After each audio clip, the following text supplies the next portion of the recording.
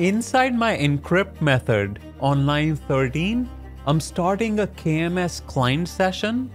Then on line 14, I'm calling the client.encrypt method and passing my key alias and input data. Consider this.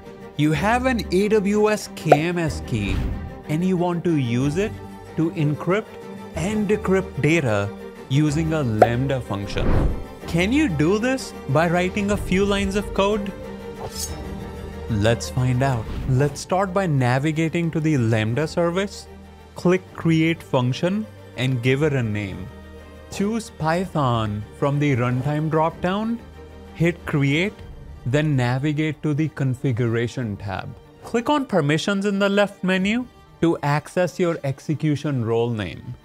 Next, let's head to the KMS service, then click on create key.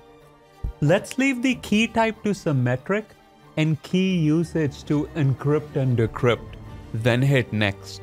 Enter an alias for your key and a description if you like, then click on next.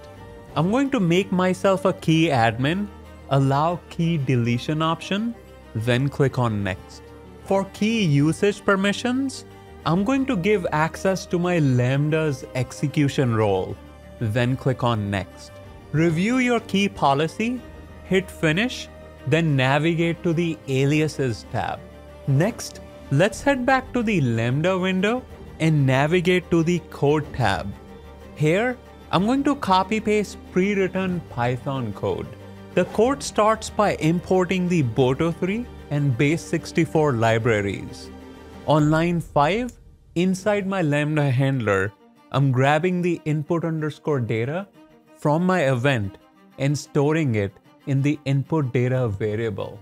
On line 6, I'm starting a Boto3 session and on line 7, I have if-else logic where I call the encrypt method if the encrypt or decrypt key is set to encrypt, else I call the decrypt method.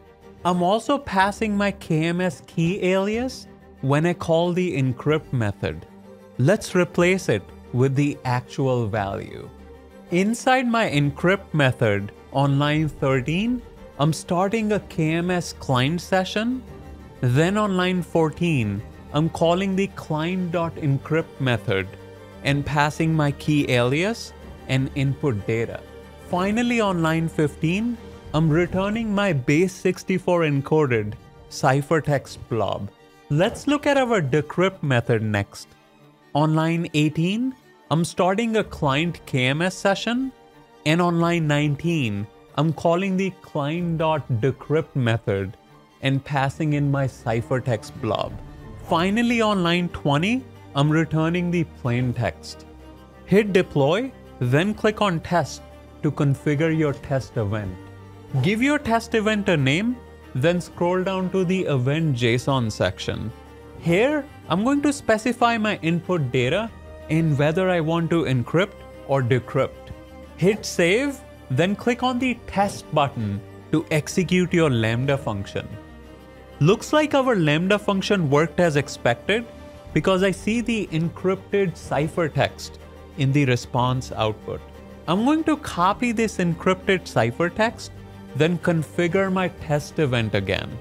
This time, I'm going to replace my input data with the encrypted ciphertext, then replace encrypt or decrypt value with decrypt then hit save.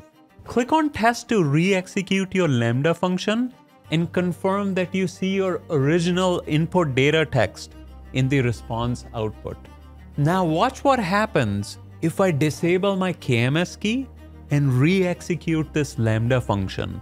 As expected, this time I get an error message saying the decrypt operation failed because the key is disabled. There you have it. But before you go, here's a question for you.